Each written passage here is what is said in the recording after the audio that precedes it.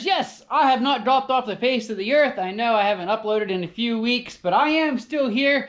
Wanted to do this little update to let you know why I haven't uploaded. Basically, I've been busy working on Hillbilly Garage, trying to get it done before the snow flies. So I'm gonna take you guys around, kind of show you my progress. We are almost moving ready, at least enough that I can get my stuff moving in there, start working on Mighty Mouse again. I know all you're wondering, how's the progress on this? Well, it is pretty much in the exact same spot that it was in the last video you saw. I got my intake all done. I did start to hook stuff back up.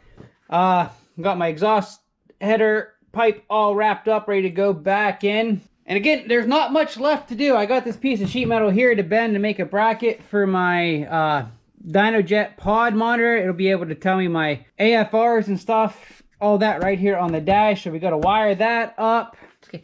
I got to swap out my wastegate here because this one is not adjustable. So with this wastegate, I'd have full 25 PSI that this turbo is capable of right off the bat, and I don't want to do that. So I got a aftermarket wastegate here somewhere. The no, that's not it. Oh, it's in here. That'll allow me to start at 3 PSI and then go up from there by swapping out springs. So we'll have to get that swapped in for this wastegate. I'm not sure what that's going to involve. But hopefully not a whole lot. We'll figure something out. So once that's on, I get my boost controller then hooked up as well so I can fine tune it a little better in correlation with the different springs that can run in the wastegate.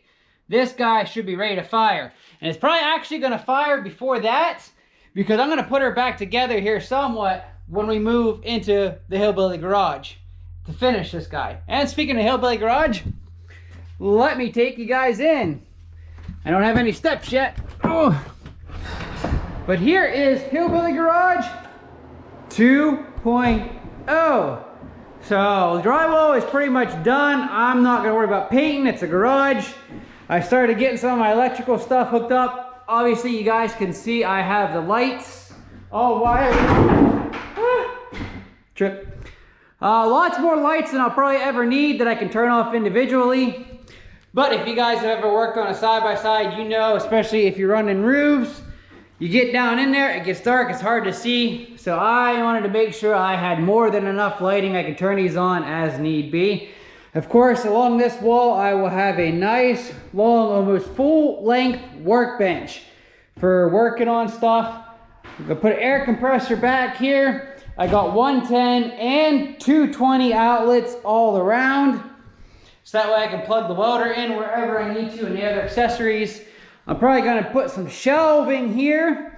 And you guys may be wondering why in the world is this wall still not drywalled?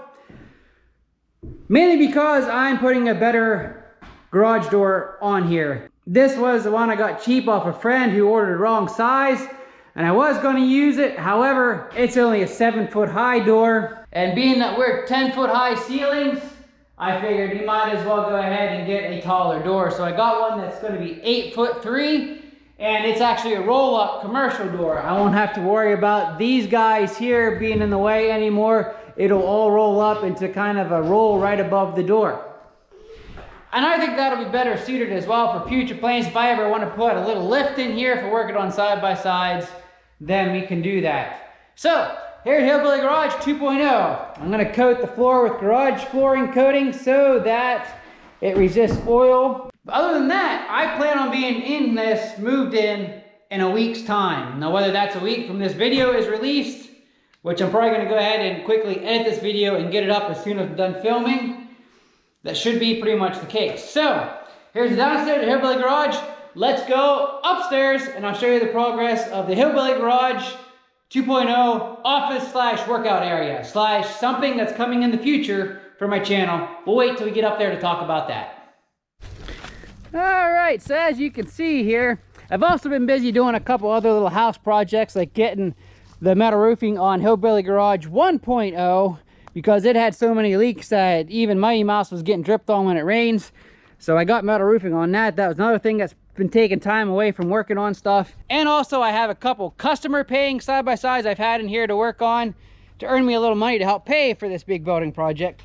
So that's been kind of taking me away from Mighty Mouse as well. And that's also why you haven't seen me upload videos in the last few weeks. But let me take you up there.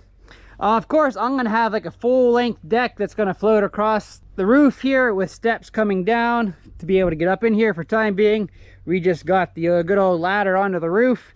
And of course, I still have some landscaping around here to do. So let's go up and take a peek.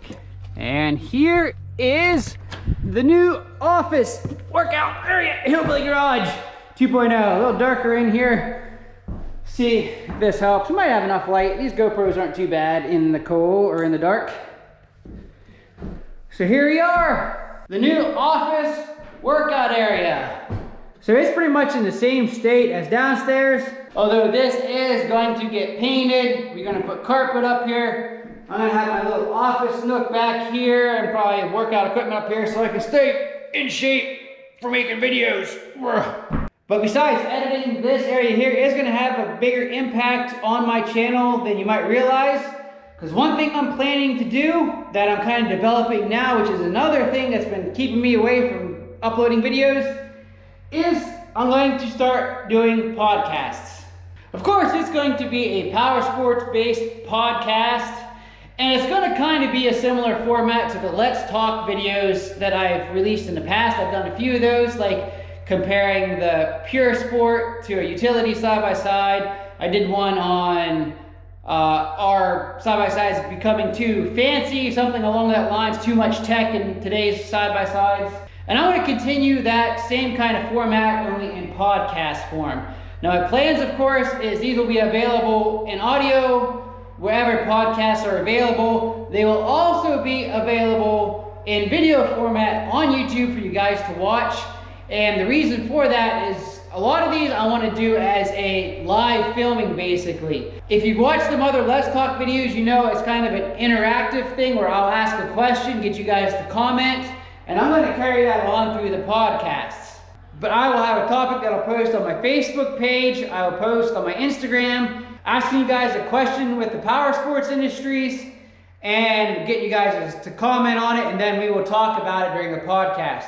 And being how, as I'm also going to film a lot of these live, you guys will be able to join in the live broadcast as well to chat, to comment on things right as we're filming, and those will be included right into the podcast as well. So I'm very excited to start that probably this winter sometime.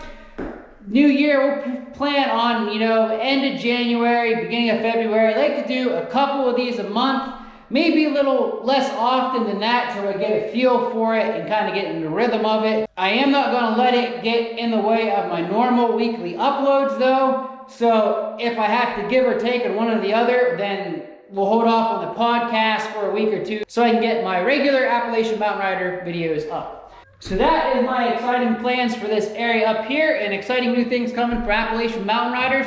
Don't be afraid to go ahead and give me topic suggestions for the podcast on my Facebook page or comment in this video below. I'll write them all down, keep track of them, so when we start up with the podcast, we will have a broad range of topics to talk about.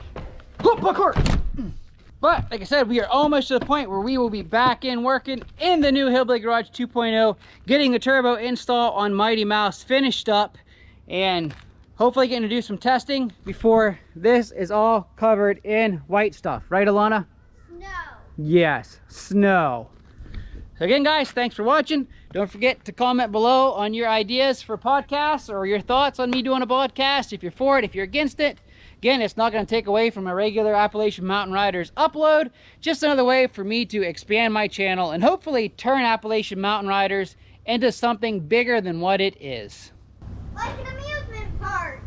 Yes, like an amusement park full of roller coaster rides, right? Mm -hmm. All right.